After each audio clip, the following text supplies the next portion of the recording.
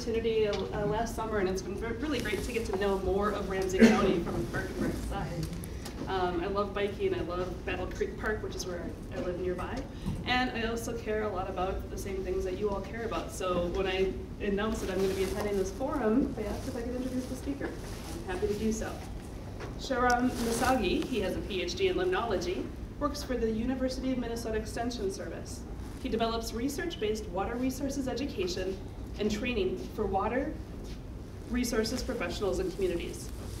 Programs focus on innovative land and in-lake practices that reduce the environmental impacts of excessive, excessive stormwater runoff.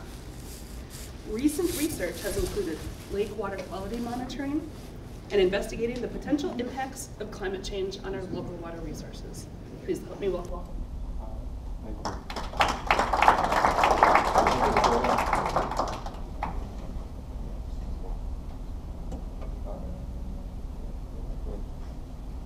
Again, thank you so much. Uh, thanks uh, to Ann for having us, having me here. I'm really excited to be here and I'm so happy to have a chance to talk to you about algae. Of course, it's a topic that I get really excited about and I think it's, it's, it's one of the things we need to pay more attention to, so thank you very much. Again, my name is Shahram Messaghi. I'm with the University of Minnesota Extension Water Resources team. Just a quick check, can everybody hear me okay? And um, okay, good, good. I can Okay, all right, good. So we'll start with this, um, uh, with this presentation. You can tell I'm always used to standing on this side. It's terrible, you know, get into a habit, you know, you get. Okay, so what we're going to talk about is the harmful algal bloom and what they are and, you know, why we get, why we need to get excited about it. Again, thank you, uh, but I just want to start with acknowledgement because it's really a, a topic that has taken a lot of people work and cooperation and collaboration to bring this uh, topic at the university and throughout the state. So I want to thank the state agency, MPCA, Minnesota Department of Health, uh, many of the ed our educators, researchers from different colleges, from Mankato and different places, uh, uh, also educators at the University of Minnesota Extension, homeowners, and local government agencies just like yours that really bring the people together. And of course, it's your interest that makes the whole thing run, right? If you're here because you obviously care about water quality, you care about clean water, and that's what really kind of um, drives our, our efforts. So thank you for that. Um, oh, just one quick note on the, uh, we also have been putting together a web page, uh, Harmful Hab, uh, at the University of Minnesota. So we try to put much of the information that I share with you tonight uh, that we'll have it available at the website uh, as well. So it's a good place to go to for resources.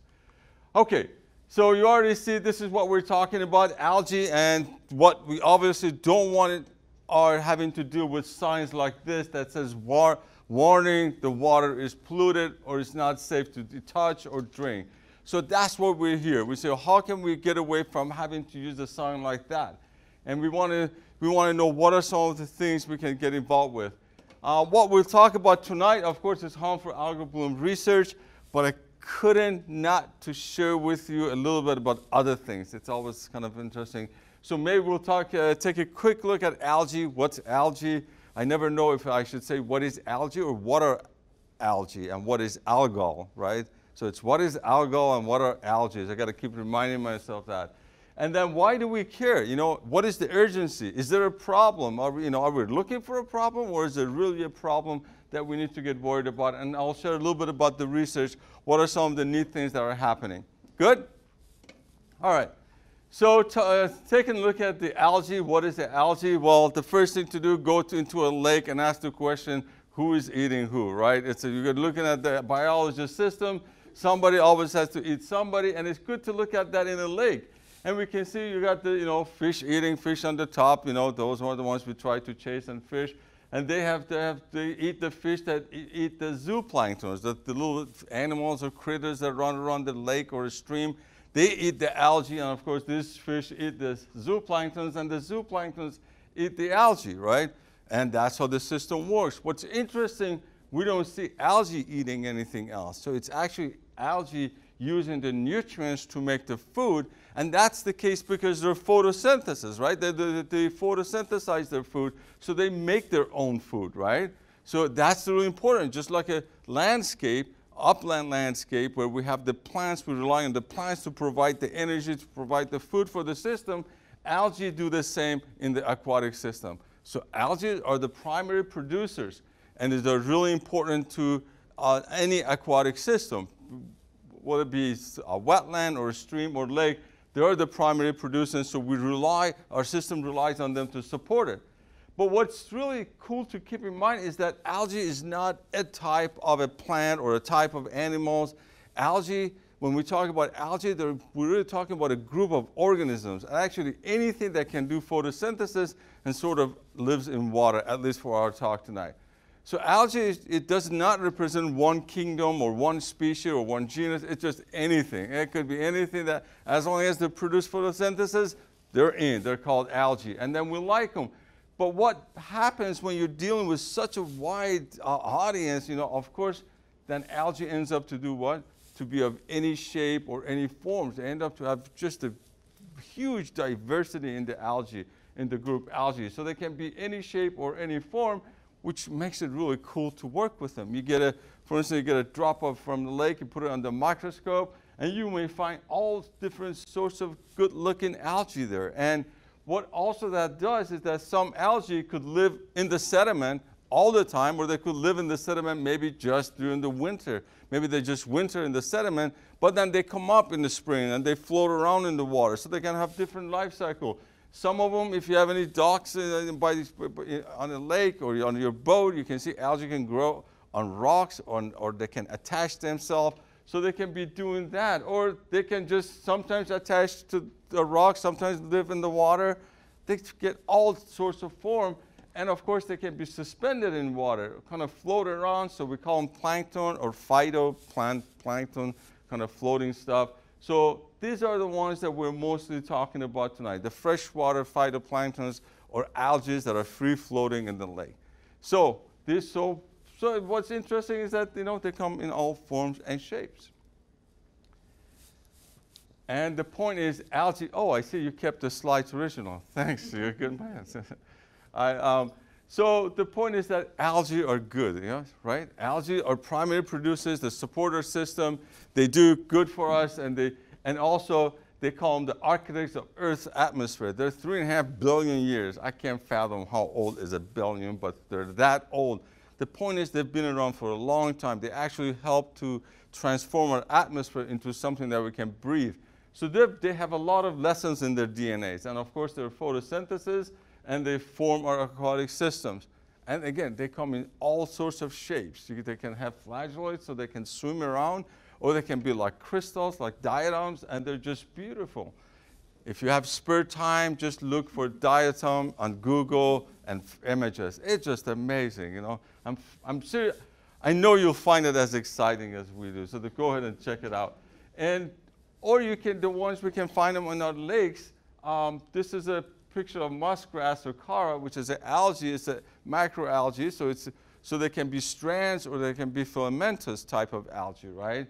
And we can get, all, or in this one we have, we, I'm sorry, you may not be able to see this, but if you imagine you've been to a lake, you see this kind of a floaty, cloudy things floating right underwater and sometimes beneath the water. And this particular one is the uh, Lyngbya. Lyngbya has the, um, the hint of a sewer system or sewer smell also. And in the fall, they turn brownish and you get the call, who let the sewage out on the lake? You go out there, it's Lyngbya because it just has that sort of look and smell. But that's the type of algae they form a very thick mat. Or you can have algae that kind of really looks like dissolve in the water from top of the bottom. It just looks very soupy, very green. And there are a couple of species that do that. Microcystis is this one. You know, you, you put your hands in it after like two inches, you don't see nothing anymore. You know, just gone. It's just cloudy and green. And that's the microcystis. So this is a, uh, um, Anabaena, I believe this one is. You know, you can see like somebody had put paint in water. It looks very uh, bright green. So these are so these are the different form of algae that you're going to see uh, if you went to a lake. So what's the problem? Why do we get all hyper about it? What's the problem? Well, the issue is they tend to grow, right? They grow and they can grow pretty widely and excessively. So this is a picture of a lake. So you can see what has turned into. It's just a massive algae growth on here. So when it grows that much, you can't swim, you can't recreate, you cannot fish. So it, you lose all that value of a lake. And of course, if it's too much, it's going to impact the wildlife as well. That is the problem. So the catch is this, yes, they're great, they're primary producers, but somehow something happens and they have excessive growth and they grow way too much. And we, that is when the problem is. They can grow too much. So what happens if they grow too much? Well, we said algae is here. No, everybody eats everybody down here. Algae is the primary producer, supports the whole system. But if they grow too much, let's say we have our, what do we call this? Nice lake. We have our nice lake here everything is good. You know, we have few algae because we do want them, right? Because they're photosynthesis, they produce food. But something somehow happens. Well, we know, for instance, temperature helps. We know nutrient helps that all of a sudden they decide to grow more, right? Just adding fertilizer, we add nutrient to the water, things are going to grow. But we, there is something else. We know some physical, chemical, biological conditions change, and all of a sudden they grow very excessively. So when they grow too much, we say they have a bloom or we have an algal bloom. So we have a bloom when there's just excessive growth. But what happens when you have this much algae, end of the life, end of the season, what happens to all the algae that are alive here and they die, die off? They can either sink to the bottom, right? And what happens if they all sink to the bottom? They're going to start decompose. And what do they use as they decompose?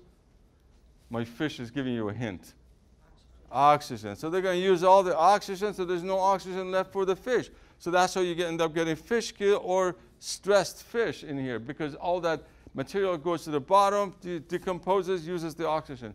Or if we have too much algae or, or a bloom, if that doesn't, that may happen too, but the other thing is some of this algae can actually start producing toxins. Toxins are the things that are poisonous to us. And, the and this one, when they produce toxin, then we call them harmful algal bloom or HABs. So that's the problem. We like algae. They're good for the system. But somehow down the road something happens and they grow excessively. They grow too much. They form bloom. The bloom either die off in the bottom, deplete the oxygen, or they can produce what? They can produce toxin and become harmful algal bloom. So that's what we get concerned. So, okay, so what do we do now? So what, what is the issue? Issue is I like need to learn how to use this. All right, here we go. So, so again, this is the actual picture of a sample of algae. They can really get that thick. So you ask the question, well, wow, what is the this gradient? What do we start? You know, well, this you can imagine if this is like a clear lake, right? There's no clear, clear lake, but I mean, there's a water that doesn't have much algae. This is what would be the other extreme, maybe.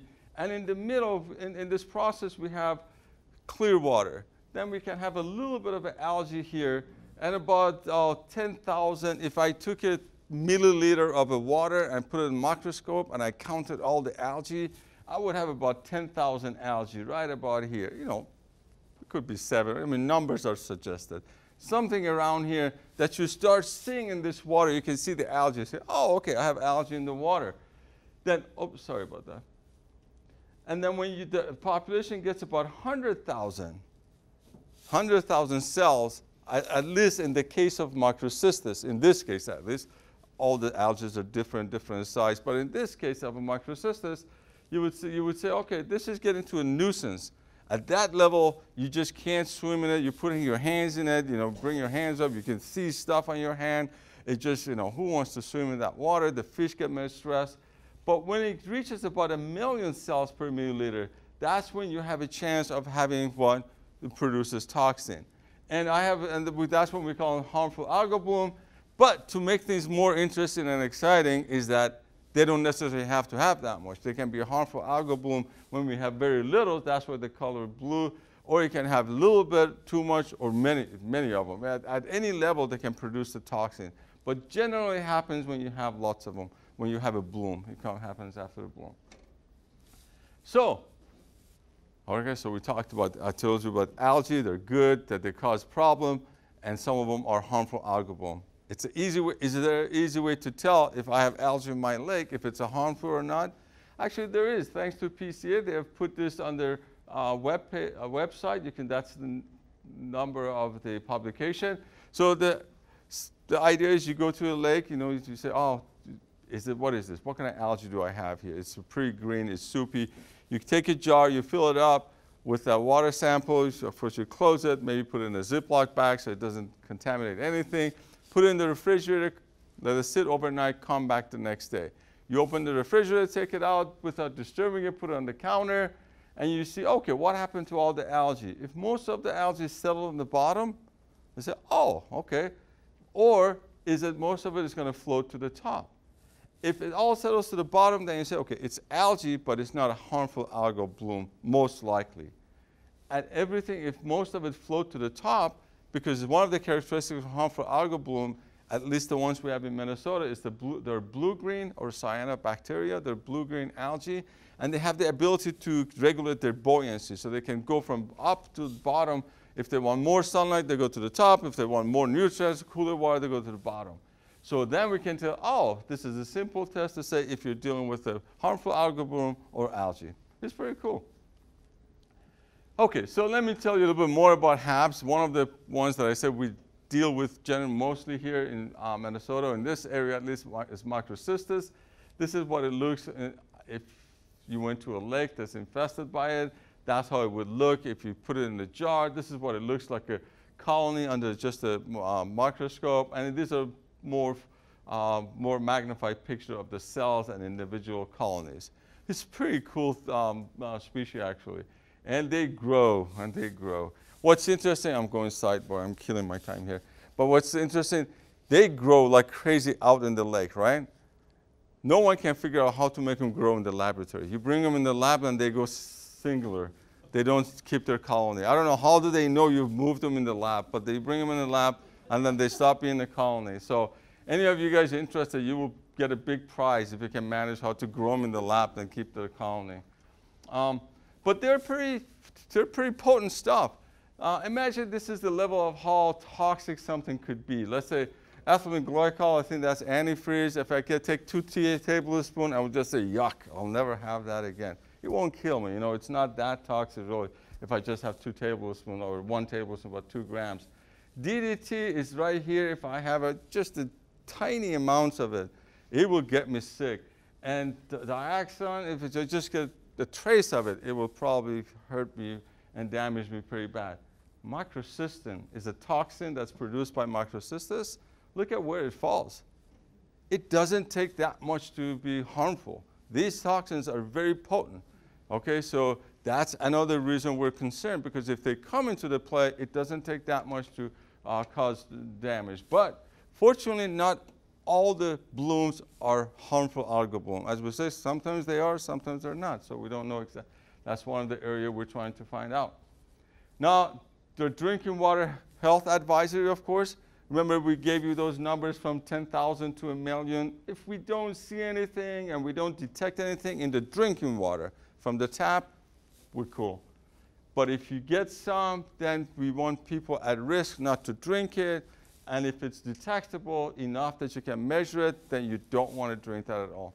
Now, I'm not giving you numbers because the standards are kind of dynamic at the moment. Some states have them, EPA has them, uh, but, but these are happening more and more. So we say, okay, let's test it um, and see what if they're in the drinking water or not.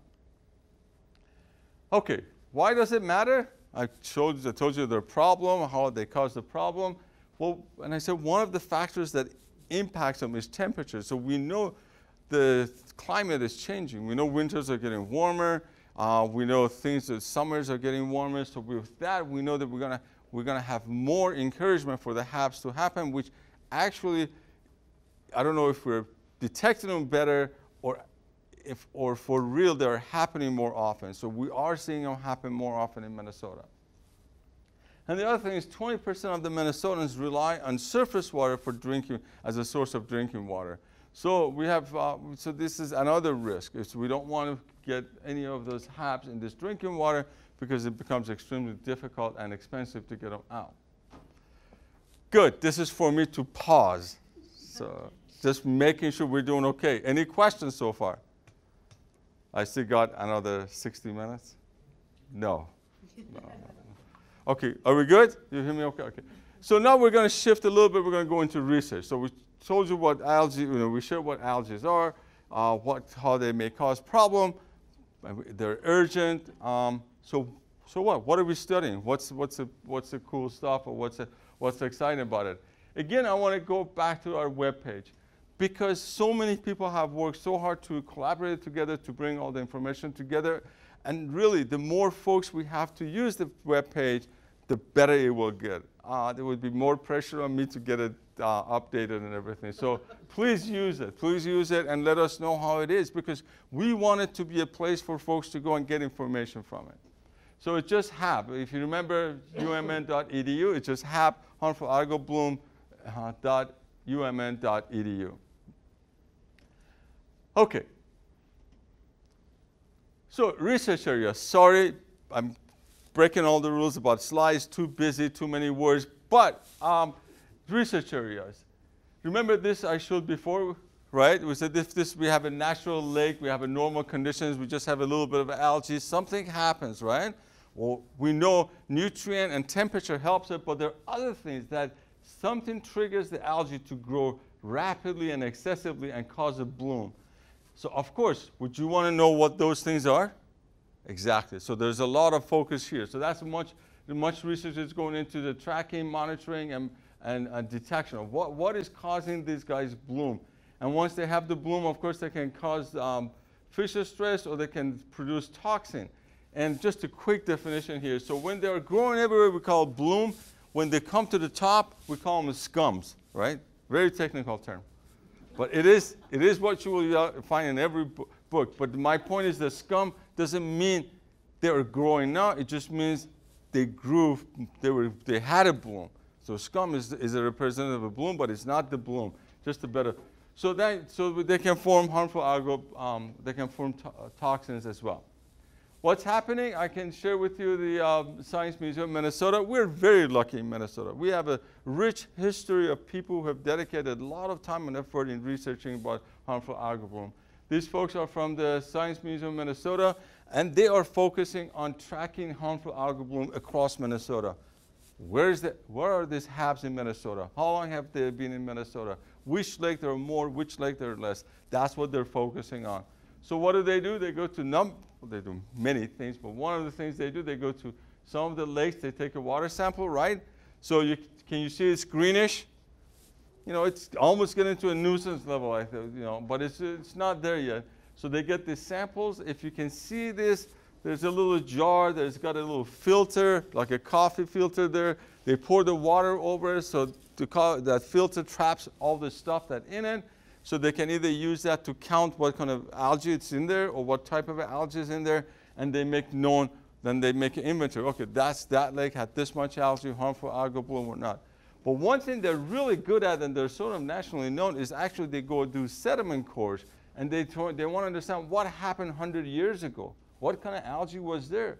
Because if we can figure out what was there before, what is today, what is here today, that gives us a sense of being able to forecast what could be coming next. So that's really important. That's some of the work that the Science Museum of Minnesota is doing.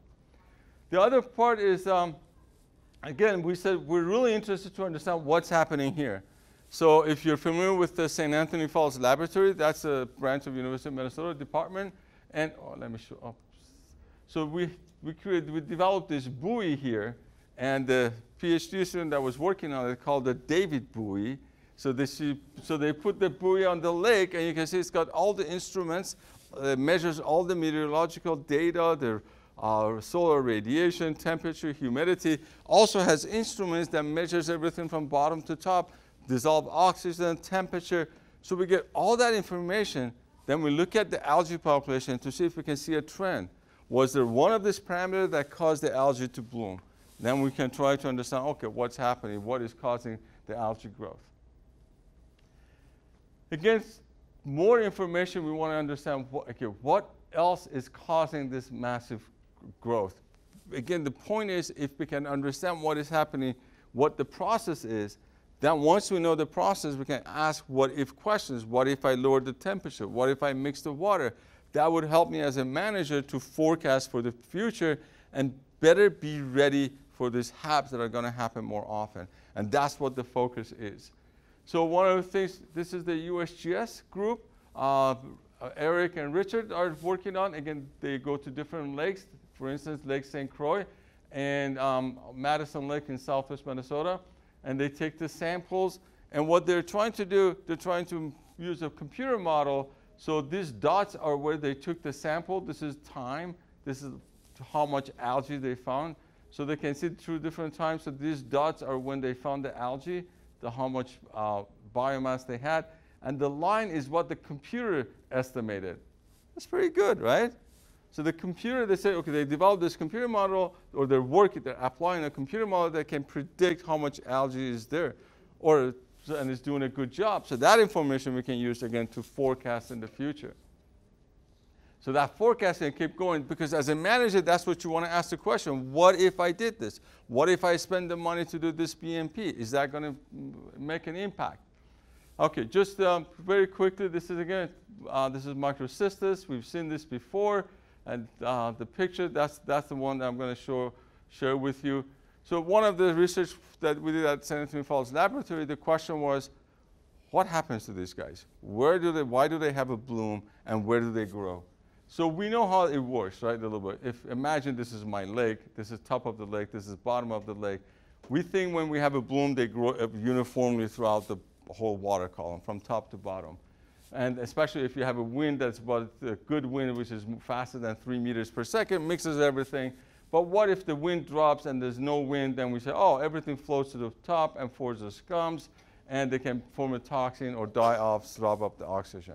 So we know this the process, but the question was, do they really grow everywhere in the water? Or is there somewhere in the water depth they like more? Is there some mixing of water that they like more than the other places?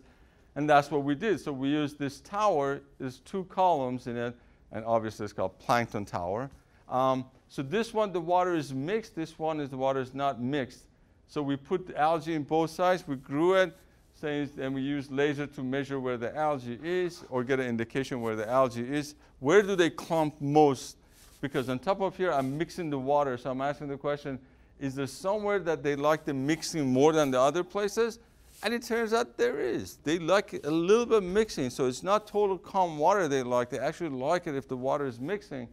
And two other researchers, Anne and Jackie, have really worked uh, hard on this part, and they have shown, again, if this is time, and this is the depth of the water, and the red is I have lots of algae, blue I have no algae. You, what they showed is that also what encourages algae or sort, sort of modulates the algae, algae population is how well the water mixes from top to bottom. So, okay, so now we're learning a little bit more things, indications of what drives the algae population. Again, why do we do that? Because if we can understand how they work, that's going to help us to do what? Forecast and predict what's going to happen in the future, and that's what we're after. Solutions, um, how am I doing on time? Okay, go there. Um, so it's this, but the good thing is we have solutions, right? It's, I told you all the urgency, but there are also a lot of solutions. There's much to learn of what triggers them. There's much to learn why do they grow. There's much to learn why do they produce toxin. Um, just a one second diversion. And what's interesting with algae, these toxins, they produce in their cell, but they never release it. It's only released when they die off or somebody bites in it and they burst. So ask the question, why would, some, why would someone, why would something produce a toxin, they hold it inside, and they don't release it until they die off, you know, just like, so there's some questions that uh, a lot of people are interested to find out. Okay, so what are some of the solutions? Sorry about that. So once we have the algae here, so there are two things we can do. We can treat the algae that's here. And there are different ways we can treat the algae. We can use copper sulfide. Have you used copper sulfide in your pond or lake? It actually kills all the bacteria, basically. So we can use copper sulfide to kill whatever is in there, and um, so it would get rid of the bacteria as well. Peroxide actually is some is a you know is a rich oxygenated water basically H2O2, um, which actually people in Australia, folks in Australia and Europe use it on the lake level. They dump gallons and gallons, thousands into a lake, and that really seems to be um, controlling the algae very well. Pond dyes. I used to work for a city. Folks used to call me and say, My daughter is getting married tomorrow. Come and clean the pond. So, okay, how do we do that? Actually, it turns out people are smart. They figure out, you know what? If I go dump a green or a blue dye in the pond, what is it going to do? First of all, it's going to make it look blue, but also it's going to hold, it's going to shade, right? It's not going to allow the sunlight in and the algae will die off. So in the small ponds, you can put dye if you want to approach it that way. Or you can use herbicides. Some herbicides work on some of the algae as well. Alum. How many folks are familiar with the alum in water? Or alum with pickling? It's the same idea. You have a jar, you pour the alum, alum sulfate in it, it grabs all the nutrients or phosphorus, and it settles to the bottom, forms a flux. So now your water doesn't have a nutrient. So if I were algae, like there's no place to get the food, so algae would simply starve. Ultraviolet and other systems are happening. They are viable. The question is how practical they are, how expensive they are. Barley straw. Has anyone here used barley straw to manage it? So I have a pond, maybe up to two or three acres. I go around, I stake the uh, barley straw in the, uh, in the water, but they're just, just about floating, and somehow barley straws interrupt the cycle of the algae. Either they take the, over the carbon cycle, or either they promote some sort of a bacteria, that many theories. Google it and you'll have fun reading about it.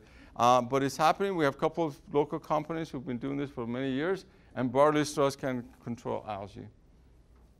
But of course, the big picture solution, we've always known about it. What's really nice about algae control is the, the, the, stuff that we all know about already, right? To control algae starts upstream. We have a lake, we, we just can't have things come into the lake. It's the same solution we have in many of the conservation efforts. We just can't allow things to come into the lake. So wetland conservation, aquatic buffers, cover crops, anything to keep that soil underground, it's definitely what the algae control can use for in the long term. That's what ultimately is going to control it. So I hope that has given you kind of a quick overview of algae, the issues with algae, why the problem, and that we also have solutions. And the fun part is the research is uh, to understand what, what makes them go, what, what sort of a hint do they get that all of a sudden they have the bloom, and when do they decide or how do they decide to produce toxins. So those are some of the um, questions. Uh, ultimately, I think we do all of these things again to be ready. Um, I, I, I, in my opinion, I think it's too much at stake to ignore algae. I think when they come into a lake, they Im impact us economically, health-wise, and many different uh, uh, ways. So we need to be ready for them. And this is just going to show you, this is one of the models we, uh, we deal with. So this is the area of photo, right? This is South Central Lake, I think, uh, South Center Lake in north of Twin Cities. So this is our lake.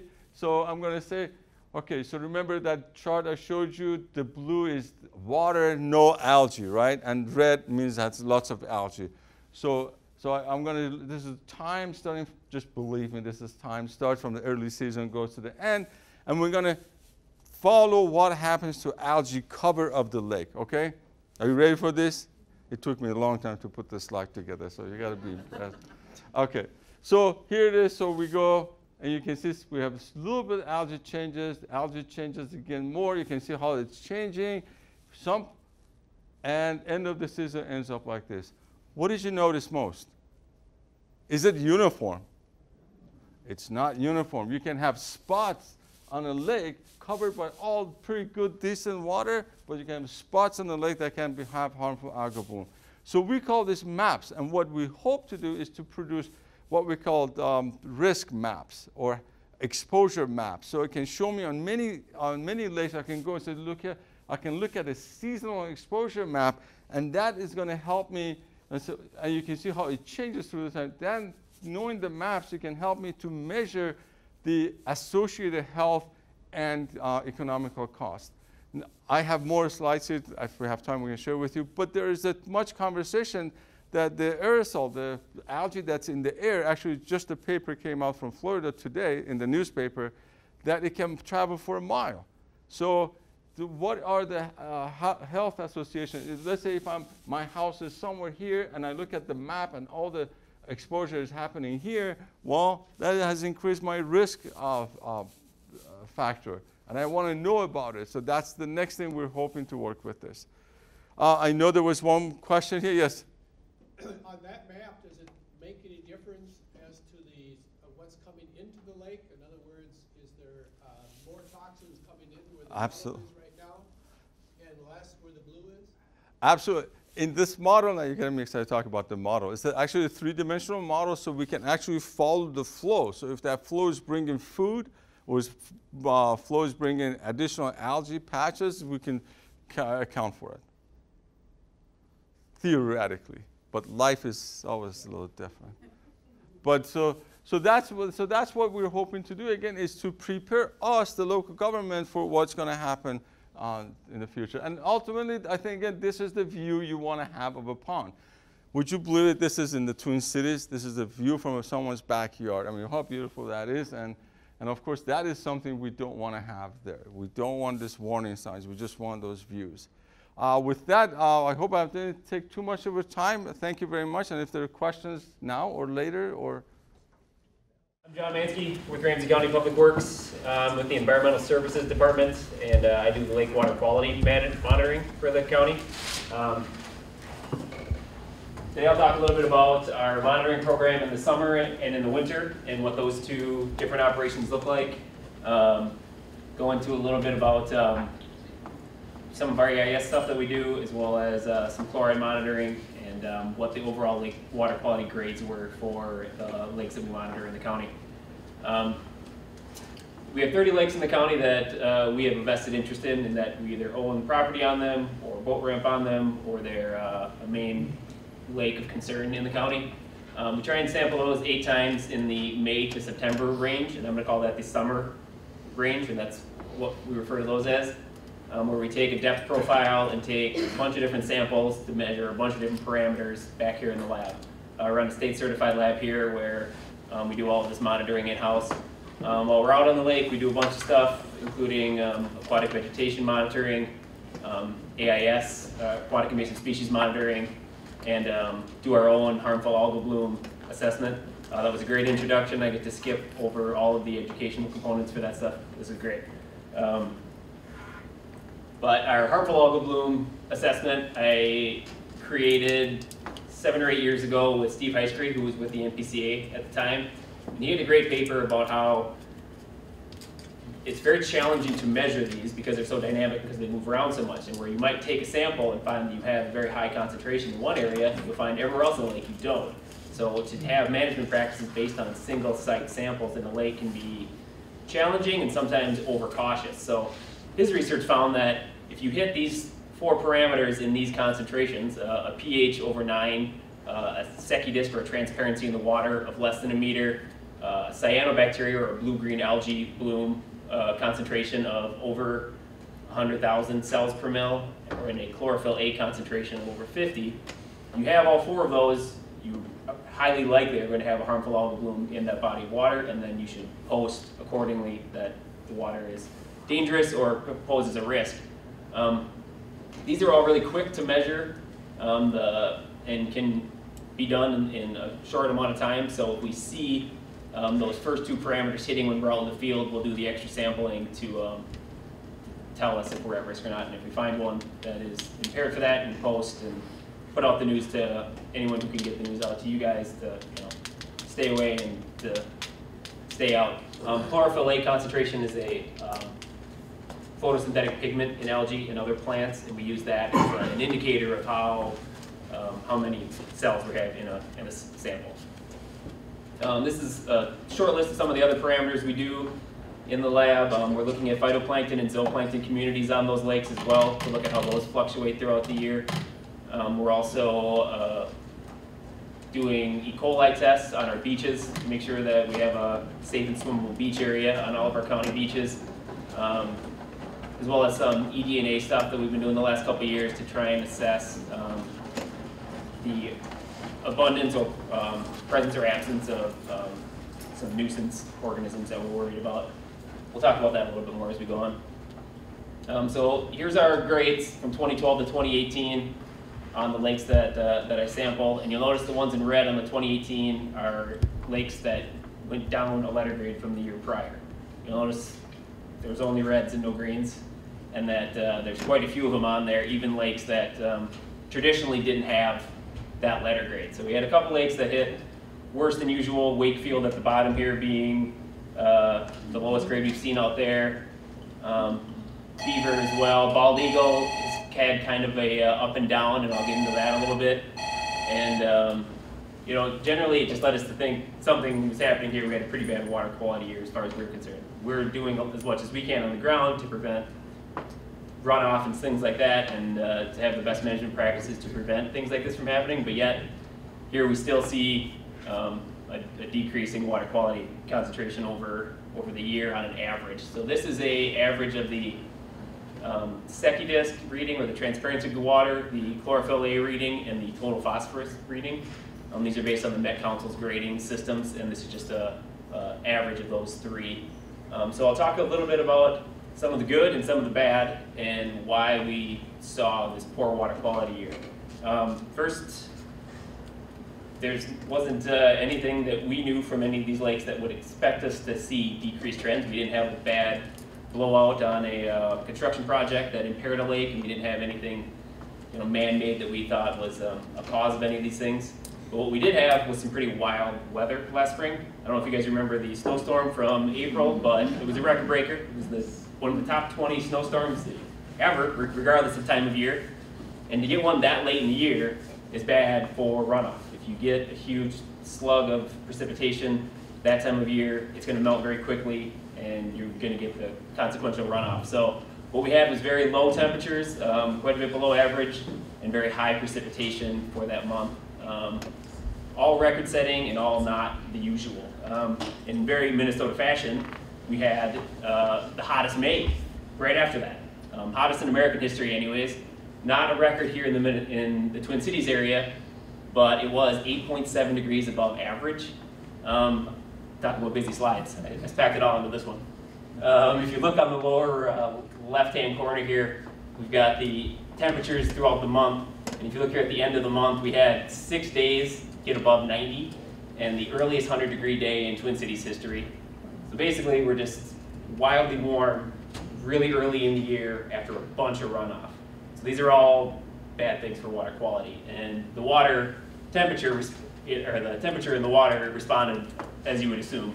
We had, um, these are the average temperatures in the upper mixed zone of all of our lakes average. So we're uh, well above what we normally see as far as the average temperature for the whole summer and pretty, well, also high for our chlorophyll A concentration. So we had more algae on average in all of our lakes combined than we had in most years prior.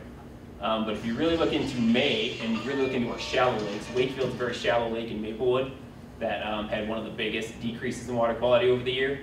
Uh, in late May, so this is the last sampling that we do in that month, our water temperature was actually 80 degrees. And if you look in previous years, we were below 60 some years.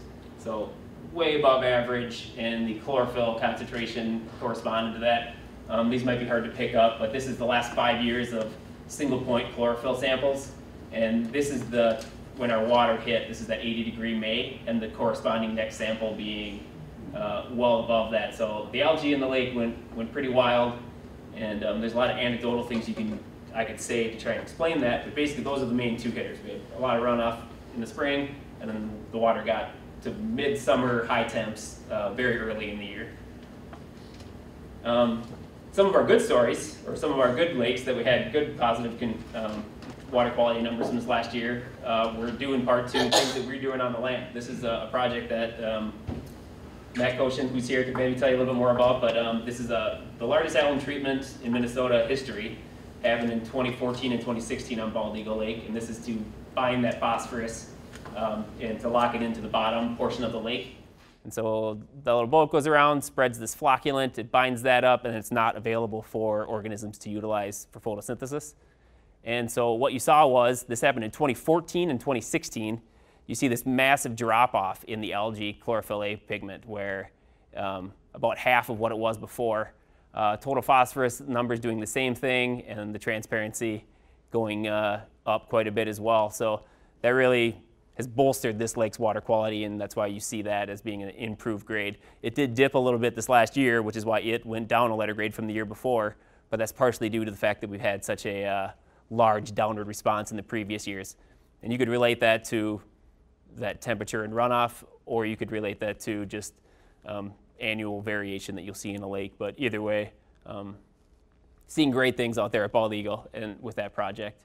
Uh, another one would be White Bear Lake, and these numbers are kind of staggering if you look at this transparency in the last uh, couple years, how it's it's gone.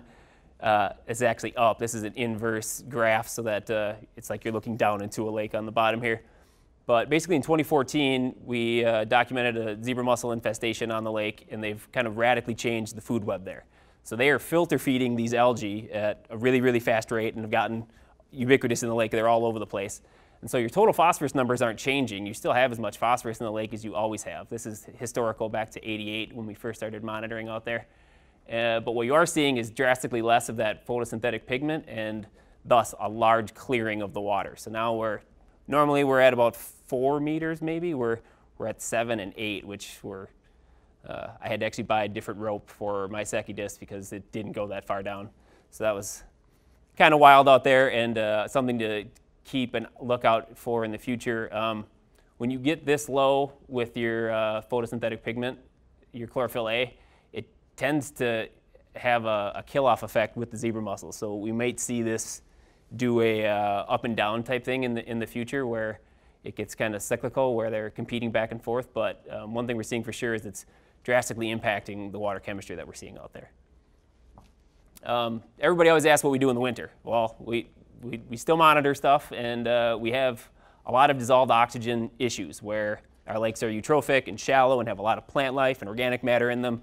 And in the winter, we, we run out of oxygen, and the fish that the DNR stocks in there have the tendency to die off. So we go to great lengths to try and keep those fish alive. Um, part of that is monitoring those lakes. There's uh, six lakes that we have aeration systems on, either permanent or temporary, that I'll put out um, when our oxygen levels get low enough to, uh, to warrant it. Um, those are Como, Owasso, Island, Otter, Silver East, and Beaver. There's other lakes in the county that have aerators. Um, I just don't monitor them, or um, I'm not in charge of them personally. So you'll see those on certain lakes, either a floating unit or um, a pump and baffle system on the shoreline that opens up water and uh, helps keep those fish alive. Um, another big part of the winter work is uh, monitoring chloride. Chloride's been an emerging concern here in the county, um, and since we are a, a, user of large quantities of salt, we, we also do a lot of monitoring to, to see how we're impacting our lakes. Um, the MPCA put out a report uh, a handful of years ago about impaired bodies in the, uh, in the metro, um, and Ramsey County was a big part of that effort, and a large number of our lakes were categorized as impaired um, or at high risk for being impaired for aquatic life. So basically, if you get enough salt in the water, organisms die off or stop functioning properly. Um, so where does this chloride come from? A lot of it comes from municipalities like Ramsey County and the Department of Transportation and uh, individual homeowners putting it out on their sidewalks or businesses using it as well. Um, but the numbers are fairly staggering about how much we use. These are all just for the Twin City metro area or the TCMA. Um, 78% of what we lay down ends up in either the groundwater or the surface water. That's a, fairly alarming stat if you look at how big some of those piles are that uh, most of these places have in the back. But the real uh, numbers are total usage. Um, 700 million pounds a year is uh, the current number that uh, we're working with. Um, basically, too much salt is bad for aquatic life and for drinking water. Um, a lot of the wells in the local area are finding that um, they're contaminated with salt, and I'll talk about that a little bit more as well. Um, why is it bad? Uh, the MPCA's take home is that one teaspoon of salt puts you above that limit in a five gallon bucket of water. So if you're uh, salting your sidewalk, keep that in mind. Um, every teaspoon uh, pollutes permanently five gallons of water. Um, once it's in the water, you can't really get it out. Salt is extremely soluble and really, really likes to be in solution. In fact, that's why salt rusts things. It wants water so much that it attracts it to it. So if you have salt on your vehicle, it's actually pulling water out of the atmosphere onto your vehicle, and that's why you get rust. Um, if you're a single-celled organism, it causes osmotic stress, where you're used to being able to transport nutrients across your cell wall on a gradient, and that's how you control what goes in and out of your cell. If you put a bunch of salt outside of that cell, you throw all those equilibriums off, organisms can't function properly, and uh, it, if it doesn't kill them, it definitely um, prohibits their ability to live normally.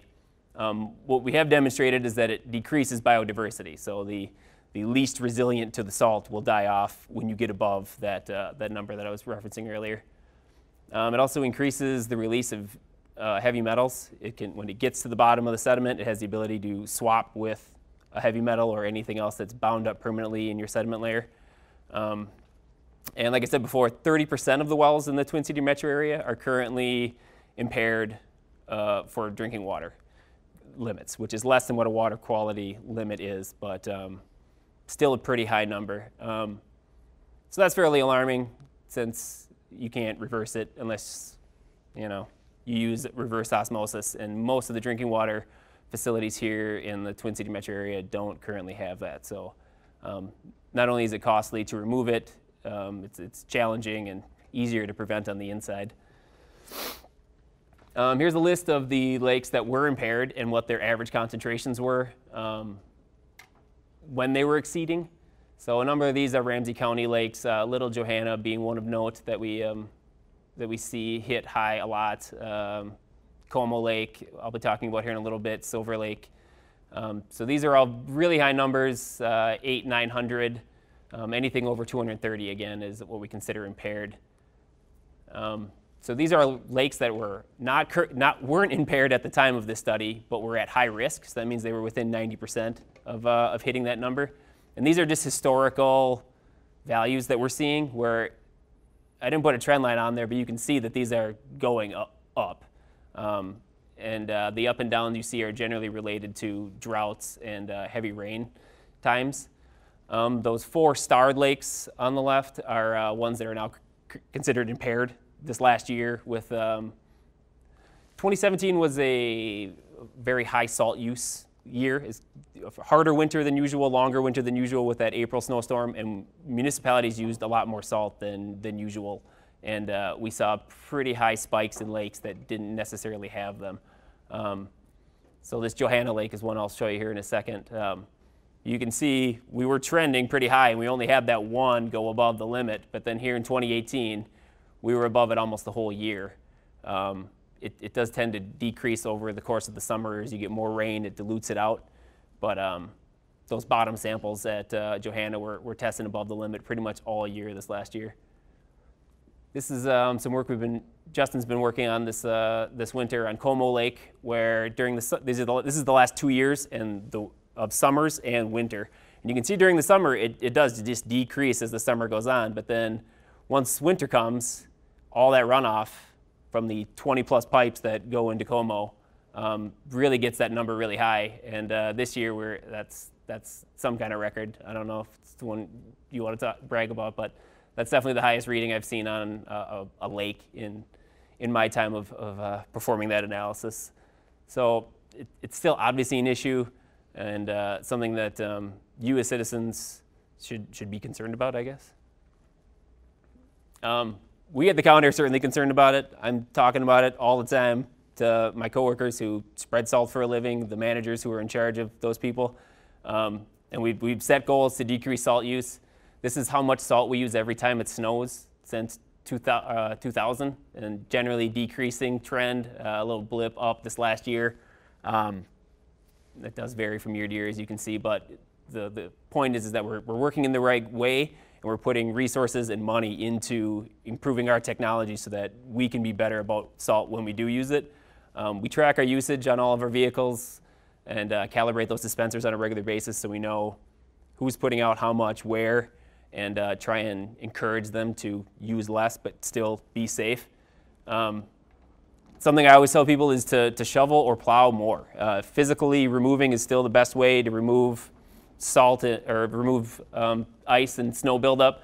Um, the county purchased uh, $145,000 in tungsten carbide plow blades this last year, which is a, a very large capital improvement that um, these are the new wave high-tech blades that uh, hug the road a little bit better. Um, very costly, but uh, really improve the ability to peel up that ice and then allow us to use less salt. So I think we'll see in our 2018-19 numbers, this is going to be back down here and get to a point where ideally that those chloride numbers uh, historically will kind of start to take uh, a dip down over time.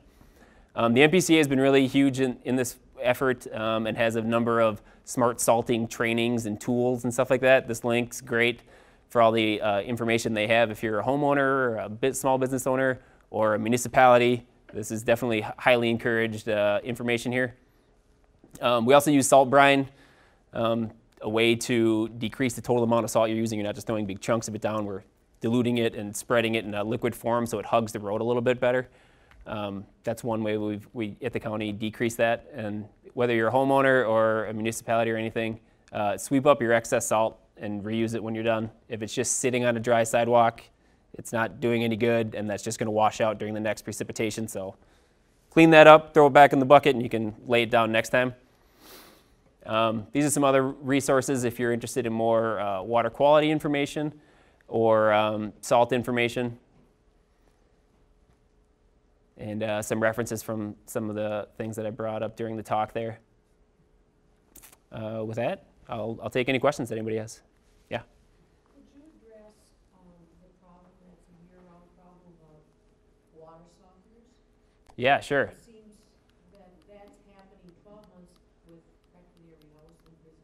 For sure, yeah. It's a, it's a small piece of the puzzle when you graph it next to plowing and road maintenance and stuff, but it is one that you as citizens can have a big impact on. I would say most people in, in the metro area do not need a water softener. You should probably have your water softener or your water tested to see the hardness to see if it's worth it. But then also make sure that that's constantly being uh, retrofitted or updated so that it's working properly. You can really go through a lot of salt softening your water, and if you're going through a bag uh, more than once a year, you're probably in need of getting that looked at by a professional to, to get it back to functioning properly because you shouldn't need that much in this area. We're, we do not have very hard water here in this area. Yeah. There, are there any other products out there besides salt for road use or anything in the pipe that people are working on? For sure. Um, well, they all anything that there is works under the same principle of you're adding a, a, solute to to the water that will change the the melting point of the ice. Um, they all have negatives, and I, I, unfortunately we're not currently exploring any of them. Um, in the past, a lot of municipalities have tried a number of different things. Again, they all do the same thing. Um, a lot of them have a eutrophication effect too, where they're going 78% of it's going to end up in your in your water, and if that's the case and it's a, a food source for something, well then you run the risk of having a, a, an algae bloom or something like that as well. Um, one thing I should note that I didn't bring up earlier is that uh, we didn't have any harmful algal bloom impairments this year that required posting on any of our lakes, which is a, a great thing. So even though we had very high uh, algae throughout the year, we didn't have to post anywhere this year, which is uh, which is always good. We have obviously had to do that in the past, so so that was uh, a bonus. Yeah.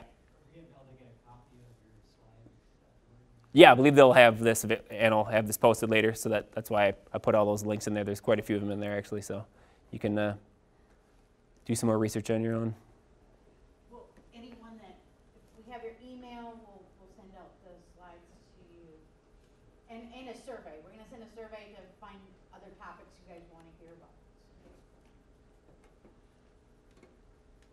Awesome. Well, I'll be here if anything else comes up. Thanks. Thank you. There you go. My little public service announcement, and I'm going to add one because of uh, the, the, previous slides, but not all aquatic plants or animals are bad. They require care like any landscape. Please take care of them. Um, coontail is a lot of them, uh, a lot of one that's mentioned a lot. People say, "Oh, coontail, that's you know nasty little uh, aquatic invasive." Not invasive, just highly aggressive.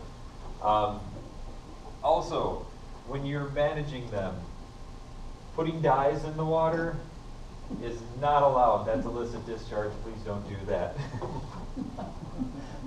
so here's some aquatic invasive species that we're dealing with this year. Uh, zebra mussels is one of the top on our radar. So every Ramsey County Lake is now infested with Eurasian milfoil. Uh, it's a plant It can get very long, it mats out, huge recreational nuisance. Zebra mussels, we only had white bear for the longest time, oh, uh, for lakes with a boat launch anyways. We only had white bear for the longest time, and then, uh, the water supply, uh, chains, not distracting or anything. Um, but the, uh, this year, unfortunately, we found a single in bald eagle, which is this guy right here, and I've got him in the office if you want to see him. Um, and then also, unfortunately, Lake Johanna, which was the five there on the bottom. You can see there's age structure, two distinct classes. That's from Steve McComas at Blue Water Science. Two distinct classes, so they've probably been there a while.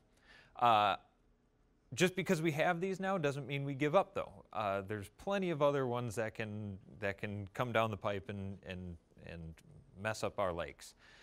The problem that we're having with aquatic invasive species, it, it can be that singular zebra mussel colony that gets in there and affects the water quality, but what we're seeing is the rate of change. Um, so you're not only, uh, it, 20 years ago, you would have gotten milfoil and then maybe 10, 15 years later, you'll get zebra mussels. Now within five years, you've got a lake like Medicine who's getting starry stonewort, zebra mussels, and Eurasian milfoil and dealing with all these other impairments at one time. So this rate of change in these systems, they just can't keep up anymore, and we don't know what's going to happen. Um, so starry stonewort, sorry, sorry, starry stonewort up there when we talked about algae. Uh, fantastic little invasive algae that can get in. It's only in five lakes right now in Minnesota, and I don't want any in Ramsey County to be on that list. That's what it can do to you. Um, so why do we care? Like you said, um, they can change the, the base of the food chain for, uh, for what these the fish are eating. It can have a recreational, uh, it can be detrimental to your recreation on the lake. Um, zebra mussel shells are extremely sharp. If anybody's been up to uh, Mille Lacs or any of these lakes where it, it, it absolutely gets uh, um, all over your beaches, it can cut feet. Kids hate them.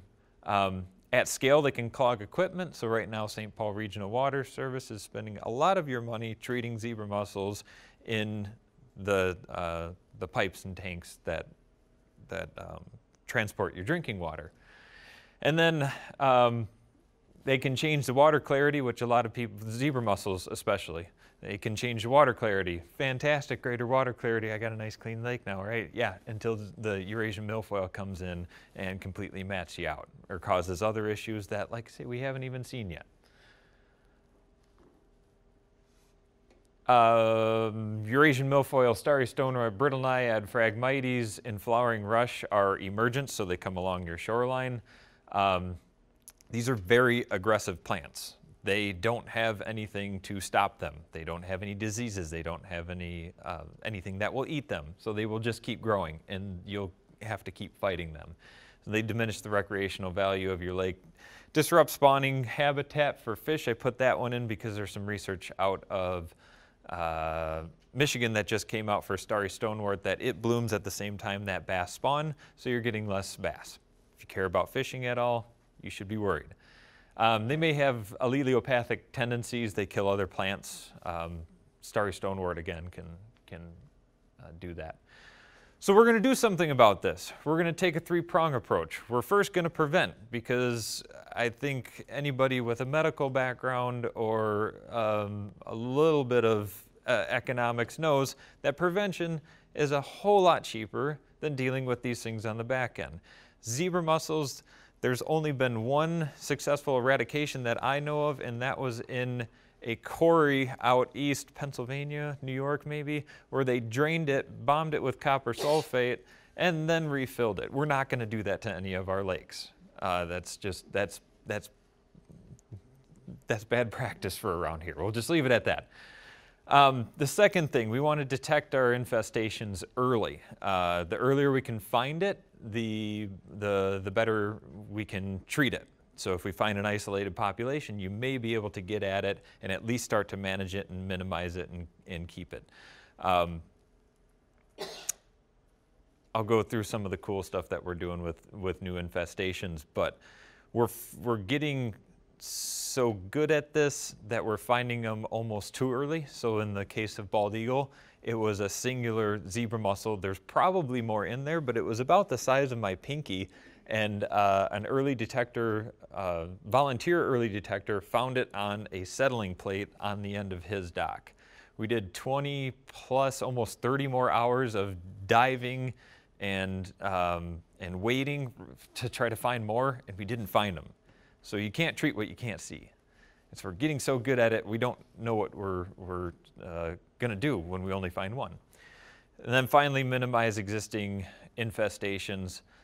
That's a tough one. Um, not a, eradication's uh, not really a goal that we can go after just now, and the research of how to do that the best is still very young. So there's a lot of words. If you're interested, talk to me about it afterwards, but this is our plan for 2019 to do all those things. Um, better pictures sh to show what, uh, what we're going to do. So uh, to prevent, we're going to inspect and we're going to gather data where we're going to do that. So where are these boats going? When do they go? What lakes do they go to at what times and where are they coming from? Where are they going to? We find all that out by hosting inspections. Our inspectors um, go through DNR training, so they're also educational. They come and they will inspect your boat, but they will also show you how to inspect your boat so that when you go to a lake and there's not an inspector there, you know what you're looking for. Um, we sign, so clean in, clean out, the clean, drain, dispose. You'll see this across the state. Um, that clean, drain, dispose is, is the marketing strategy that the DNR has had so that you know you can just keep that in the back of your head. Make sure your boat and your lifts and any equipment that is coming out of the water is clean, drained, and everything that's on it that's living or could have been living is disposed of. Um, and the, of course, that third point, education, we just need to keep getting at people. We've seen it work. Uh, drain plug law, you need to have your drain plug out of your boat before you get on a public um, roadway. We've seen that go from about 5% violation down to 3% violation, which doesn't sound like a whole lot, but that's what we're after is that last 3% that just doesn't have a tendency to listen. Um, and then we analyze. So in winter, we go back and we look at what happened. Uh, we reach more people and we want to reduce the risk. So we want to understand, um, you might hear uh, some people say, uh, well, it could get on a duck and it could go from, from, from lake to lake. Maybe, but I think the 60 boats that just came from White Bear into Bald Eagle are a lot more of a concern to me than a duck. Um, so I put this up, this uh, formula up there to impress everybody. That's something that uh, U.S. Forest Service has been nice enough to work on uh, for us. The, they have an economist there, uh, Bob Haight, who has come up with a formula that says if you stick in your data uh, uh, from the boat launch inspections that says where did your boat come from and where is it going to, we can stick inspectors at the right place at the right time. So we're getting better at this, but again, this is very young science. This, there's, we're learning as we go with a lot of this.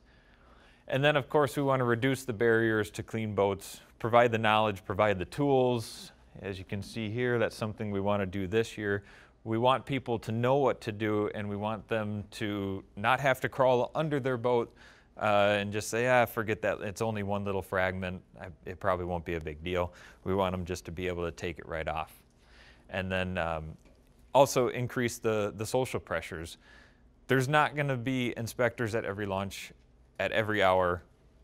And even if there is, somebody will find a way around it. What we want to do is make people want to do this. Clean boats are the thing to do. If you're not cleaning your boat on the way out, if you have a zebra mussel on there, then we're going to publicly ridicule you. And that's what we want it to be, is people taking care of themselves. Um, early detection. Uh, so as John was saying, the veliger tows, which are fantastic, but labor intensive, fair to say. Um, having inspectors search, so we have a great volunteer corps with uh, U of M Extension. They have a detectors program. If you're interested in that, talk to me afterwards. Um, that's the, the inspectors is how we found, uh, not we per se, but uh, Starry Stonewort at uh, Medicine Lake. A Three Rivers Park District inspector saw something funny coming off a boat, reported it to their supervisor, and within a few hours, they found Starry Stonewort. Um, we also contract a diver each year to go to the boat launches and search a certain amount of hard objects, especially for zebra mussels. Now they're looking for a little bit more starry stonewort, um, but anything else that, that looks odd to them, they're highly trained. Our person is a, uh, last year was a mollusk person, uh, so they know what they're looking for. Also, uh, very cool, we're lucky enough here to have John, who's got a, a background with DNA. So we've been working on getting some uh, eDNA um, protocol going. Um, lots of people working on this, not a whole lot of success so far. So we're just inventing it ourselves. And what we've, uh, what we're working on now is to try to have it where you would basically take a water sample, everything sheds DNA. So um, try to catch it when there's a lot of the little veligers, their, their reproductive offspring. In the water, there'd be more DNA. You scoop a bottle, you send it to a lab, and they say, yes, we have this marker in DNA that we know is zebra mussel or not. It's just another tool. It's where a lot of these things are going in, uh, in, in conservation in general is towards genetics. So we want to be on the cutting edge of that. And that's actually what John produced last year. And also um, our search methods. The down and dirty, there's, there's, there's nothing scientific about that. You just have to know what you're looking for. Um, response planning. So we want to be quick with this stuff. Um, so what we're trying to do is create a contingency fund first of all, which we've done. So uh, the county now has a contingency fund that if something happens, we have the funds available to treat or do whatever we need to do in order to minimize that infestation. We're also planning, so we've developed a new infestation response plan. So depending on the lake, we know who to contact, what association, what watershed district, what city to get everybody together make a decision fast because a lot of times with zebra mussels, these things are found in August after the, after the veligers come out, the young of the year. You find them in August, you've got about a three week window to make a decision. Um, and then collaborating proactively with the cities and other stakeholders. What we also want to do this year, again, just to be on the cutting edge of, of everything, is for treatment, we, kind of, we want to understand what level of treatment you would need. So for certain chemicals, there's tons of variables in lakes that can inhibit the efficacy of certain chemicals and, and how well they're used. So we want to find that out to begin with. You know, can we take zebra mussels from White Bear Lake and put them into your water and in a mason jar in a lab? And figure out what's that prime dose that's going to kill 100% of these things and not leave any leftovers, but also not overdose and kill other things and ha have some bycatch. We don't want that. And then also we're lucky enough to have the uh, Minnesota Aquatic Invasive Species Research Center, you'll hear it called, who's doing a ton of great work, and so we're trying to partner with them on more genetic work, genotyping Eurasian milfoil, because there's certain ones that are more susceptible or uh, uh, uh, more resistant to herbicides. So if we can genotype, find out what kind of milfoil you have, we can target it with the right chemical and the right amount. Here's more words pretty pictures. That's our new infestation response plan. I'm very proud of it. We've got it uh, around the state being torn apart, and uh, this was our first draft of it. We just wanted it out there so that somebody could hopefully take it up and make it better. So if you know anybody that has coding or computer background, please talk to me because I want this thing to be useful. But it's being used around the, the, the state right now. Um, so bottom line, the invasions are hard to predict. watch your boats and lifts. If you don't live on a lake, there's tons of other things that you can do. You can volunteer with us as a detector. If you're worried at all about lake health in any way, shape, or form, there's things that you can do right now, and you can be a part of the solution right now. Um, so report those sightings on boats. You can go to the boat launches and you can help us. Uh, there's an ambassadors program if you're really interested in watching boats coming in and out of the water and making sure that they don't have anything. Um, the detectors program, again, I can't say it enough. And report new sightings. If you don't know what it is, bring it to my office. I'm right over there. We want to know what it is. We want to find these things. Um, you'll only get better the more and more you look for these things. Um, so that's the end of my AIS. We'll go back to the announcements later. Any questions at all on aquatic invasive species prevention or issues? Yes, sir. You said the county contracts divers for every boat, at every boat ramp? Yes. Is that once a year? Is that? Once a year, August, early September. Yeah. Again, hopefully to catch those young of the year. Yeah. Yep. And we'll increase those hopefully on lakes like Johanna and Bald Eagle until we find them.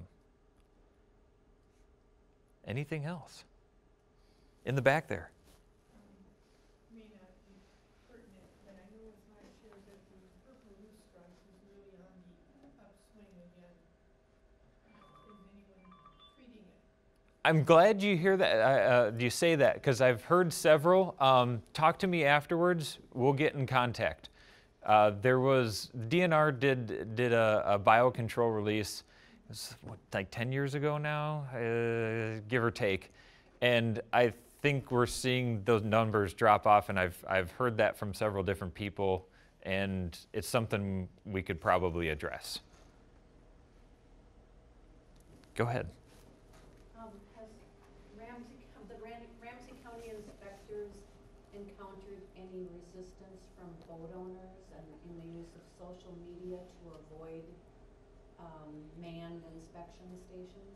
I have not heard that. Um, I know we've, anecdotally, I've heard it's been, there's been a whole lot less resistance. I, in, in the beginning, there there people didn't quite understand what it was. They thought it was heavy-handed. Um, now, when you hear out, you when you go out and inspect, you hear a lot of thank yous. Um, I'm sure there's plenty of people out there that are that are trying to skirt around the system whichever way they can. I've heard, again, anecdotally, of certain businesses that will do that. Um, we're trying to address that, but there's a whole lot of other low-hanging fruit that we need to get to first. Just being out there. yeah. All right. I'll wrap up with some announcements. Um, and then if there's anything else, I'll stick around after for, for questions. I'm sure everybody else will. But May 17th will be the next uh, forum. We're thinking composting as a broad uh, category. We'll send out a survey monkey afterwards and get some information uh, from you. AIS detectors, again, if you're interested, they have classes coming up. One's being held here May 3rd. There's a cost to it. Don't let that scare you. Come talk to me, we'll figure it out. Um, any more questions on any of the topics here today? That's all of our contact information. And I've got one more slide, so I will come back to this in just a second. Um, the Survey Monkey. We'll send out a link to anybody that signed up online or gave me their email when they RSVP'd for this. If you did not sign up um, and I don't, or you did it by phone and I don't have your email, this sheet right in front of Brandon here, uh, give me your email. Otherwise, just take that uh, SurveyMonkey link down and write it down. Give us until Wednesday to refine the questions and get everything on there. Sound good? Oh, and if you don't like computers, just give me a call. I'll do it for you. So thank you all for coming. Appreciate it.